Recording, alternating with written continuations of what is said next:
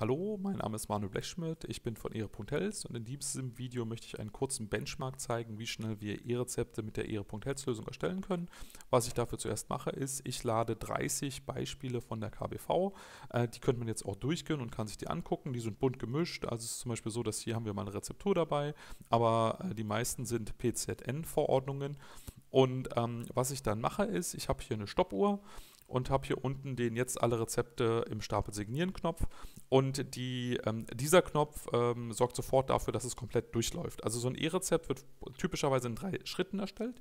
Es wird zuerst ein Create Task auf dem Fachdienst gemacht, dann wird es signiert und dann wird der Create Task ähm, mit dem signierten Rezept aktiviert und das passiert alles, wenn ich hier unten drauf drücke. Und ich habe hier auch ähm, unsere Konsole offen. Dann kann ich noch ein bisschen kommentieren, was technisch im Hintergrund passiert.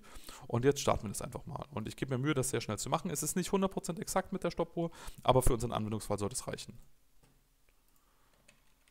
So, und jetzt geht's los. Hier sieht man jetzt, was passiert. Also als erstes validieren wir alle Modelle, die haben jetzt alle funktioniert. Und jetzt fangen wir an, die Task auf einen ähm, RU-Fachdienst zu erzeugen. Ich benutze hier eine 10 Megabit LTE-Leitung und man sieht, dass wir so ungefähr ähm, drei, drei E-Rezepte pro Sekunde aktivieren können. Ähm, jetzt ist es schon durch. Jetzt geht es mit dem Signieren äh, los. Jetzt müsste gleich mein Terminal mich nach der PIN fragen. Die gebe ich jetzt schnell ein. PIN eingeben, das kann ich mittlerweile, das geht recht fix. Und jetzt wird im Batch werden diese 30 ähm, E-Rezepte signiert. Also man sieht jetzt schon, dass wir so ungefähr nach 36 Sekunden haben wir äh, die Task erstellt. Aktuell werden die signiert. Das braucht auch ungefähr so insgesamt pro Rezept ungefähr eine Sekunde. Ähm, ich sage dann auch nochmal Bescheid, wenn es wenn, dann losgeht. Und was dann passiert ist, dann laden wir die alle zum Fachdienst hoch und aktivieren die alle. Also man sieht jetzt, es ist jetzt nicht unbedingt das absolute Rennpferd, aber jetzt geht es schon los. Also jetzt sind wir gerade dabei, die ganzen Tasks zu aktivieren. Und jetzt sieht man hier auch wieder an den Zeiten, wir schaffen so ungefähr drei pro Sekunde. Ähm, da ist Verschlüsselung mit dabei, da sind Sicherheitsmechanismen mit dabei, ähm, Haufen äh, schöner äh, Sicherheits, äh, Sicherheitsimplementierungen. Ähm, das geht auf jeden Fall alles durch. Und jetzt sind wir schon fertig und jetzt fangen wir an, die PDFs zu generieren. Und man sieht, dass unsere Lösung ist relativ fix beim PDF generieren. Wir benutzen Apache FOB, ist alles schön gebenchmarkt, geht alles richtig schön durch.